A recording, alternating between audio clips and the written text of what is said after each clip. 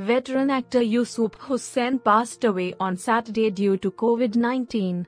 He was 73. The news was confirmed by filmmaker Hansal Mehta. Mehta took to Twitter and penned an emotional note for the actor, recalling how Hussain had helped him financially after his feature Shahid was stuck after two schedules. I was troubled.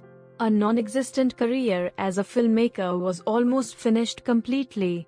He just came up to me and said I have a fixed deposit and it is of no use to me if you are so troubled. He wrote a check.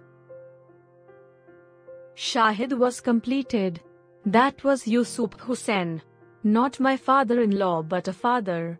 He was life if life itself had to have a physical form. Today he is gone, Mehta wrote. Abhishek Bachchan took to Twitter and also paid his condolences to the veteran. We worked together in several films starting with Kuch Na Kaho and lastly on Bob Biswas. He was gentle, kind and full of warmth, Condolences to his family. Yusuf has worked in popular movies like Vivaah, Dhoom 2, Khoya Khoya Chand, Crazy Kukkad Family, Road to Sangam and more. News Desk